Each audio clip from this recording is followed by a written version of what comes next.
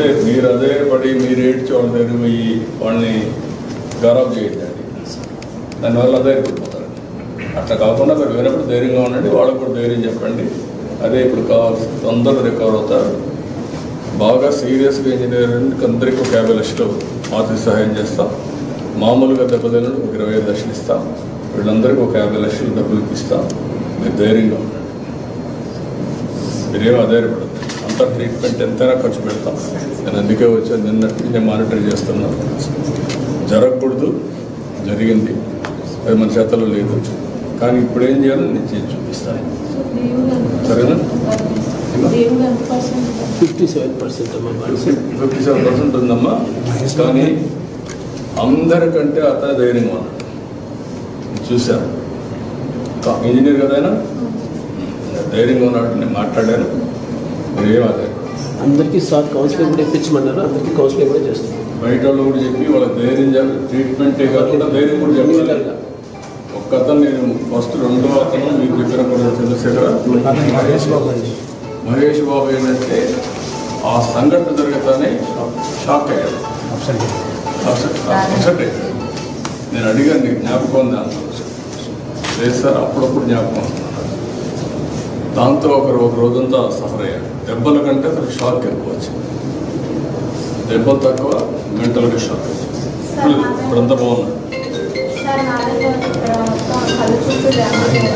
Surgery చేస్తాం అన్ని surgery చేస్తారు ప్లాస్టిక్ సర్జరీ కూడా చేస్తారు ప్లాస్టిక్ ట్రీట్మెంట్ మీరు ఏం ఆధారపడదు నేను అన్ని మానిటర్ చేస్తున్నా. నిన్నటి నుంచి చేస్తున్నా. మా ఆఫీస్ సెక్రటరీ కూడా మానిటర్ చేస్తుంది. సెక్రటరీ హెల్త్ ఇక్కడికి వచ్చారు.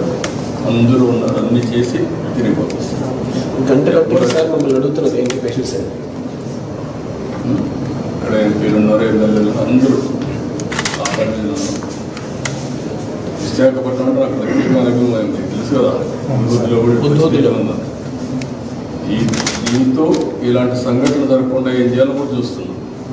మళ్ళా పునరావృతం కాకుండా. చేద్దాం ధైర్యంగా ఉండండి. అన్ని విధాలు.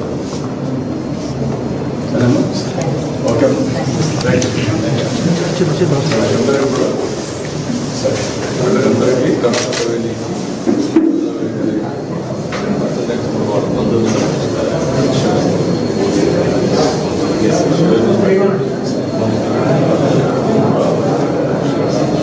నేను అవన్నీ కూడా అరేంజ్ చేయమంటాను మీరు చూడడానికి ఉండడానికి అవన్నీ అవన్నీ అరేంజ్ చేస్తాను okay thank you thank you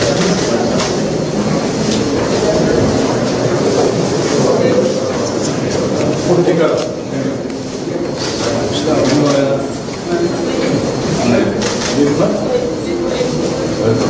ఏం కాదు. ఏ నువ్వు ఏడకూడదు. ఏడిస్తే ఏమవుతుందంటే నువ్వు ఆయన ధైర్యపడతావు ఆయన ధైర్యంగా ఉన్నాడు. నువ్వు ధైర్యంగా ఉండాలి ఇప్పుడు. ఏం కాదు. మళ్ళా వచ్చి ఉద్యోగం చేస్తున్నాడు. కొన్ని రోజులు సరేనా? ఇది నా బాధ్యత. సరేనా? ధైర్యంగా ధైర్యంగా